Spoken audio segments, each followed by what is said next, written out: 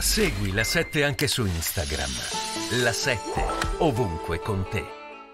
Che le questa ultima cosa. trattative con Hamas sono possibili come può- erano possibili quelle con l'ISIS. Ecco, sono della stessa Ok. categoria. Cioè si può Questo è, trattare- è chiaro, un concetto chiaro. Ambasciatrice Elena Basile, ehm, lei è d'accordo con questa analisi e lei pensa che una de-escalation sia possibile? Ricordiamo che eh, in questo momento a Gaza, ma poi ne parleremo meglio col professore, insomma la situazione eh, sta eh, peggiorando, non c'è elettricità eh, dalle due del pomeriggio, gli ospedali sono strapieni, insomma una- le condizioni eh, umanitarie sono, eh, sono drammatiche. La de-escalation è possibile e con chi bisogna negoziare un'eventuale che- tregua?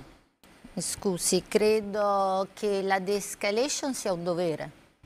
Credo, mi spiace, non sono assolutamente d'accordo col dottor Mieli che stimo Non tantissimo, che stimo tantissimo, però eh, io non sono qui per fare un confronto tra la barbarie di Hamas e i crimini contro l'umanità che sono stati commessi dallo Stato di Israele a Gaza, come le Nazioni Unite dicono.